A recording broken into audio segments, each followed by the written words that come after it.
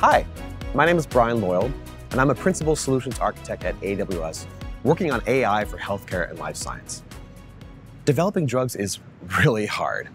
On average, a new pharmaceutical takes almost $4 billion and over a decade to bring to market. And that's important because we expect our medicine to be safe and effective. But every year of delay means fewer treatments for patients. That's more people dealing with chronic conditions like diabetes and more people wondering if they're going to see their kids graduate from college. So AWS is working with our life science customers to accelerate research and development using AI. Now, there's a couple ways we do this. So for example, we provide leading large language models like Anthropic Claude or uh, the Meta series of Llama models that allow them to extract insights from scientific knowledge. Or maybe they're using AWS services like AWS Batch to run HPC jobs and do virtual screening. But one of the areas we are most excited about is developing new drugs from scratch using generative AI, partnering with innovative companies like Evolutionary Scale to identify new molecules. Now, one thing that we've learned is that it's not enough to just deploy a model. You need to give scientists the tools that they can use to accelerate their work. And so in this demo, we're showing how you can bring these models to the people that need them the most to really find the drugs of the future. Now, today, we have a couple of options. We'd like to showcase an example we have for either breast cancer or diabetes. And I think that right now, let's look at breast cancer. So imagine if you were a researcher working on the next generation of breast cancer therapeutics.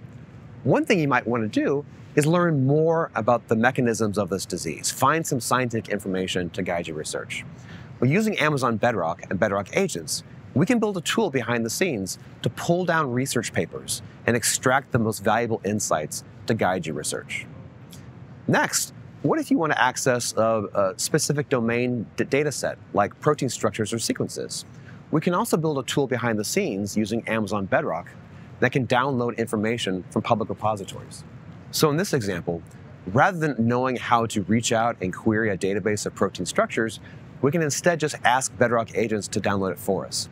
And what that results in is a 3D structure like you see on the screen here that you can explore, learn more about the properties, and help guide your work. Now, finally, one of the areas that we are most excited about is the idea of using AI models as a tool for your AI application. So let's say you were working on a breast cancer therapeutic. This is a model of Herceptin. It's an antibody. And the way it works is the active sites will interact with the extracellular domain Uh, of a cancer protein. It's a growth factor that helps cancer cells spread faster.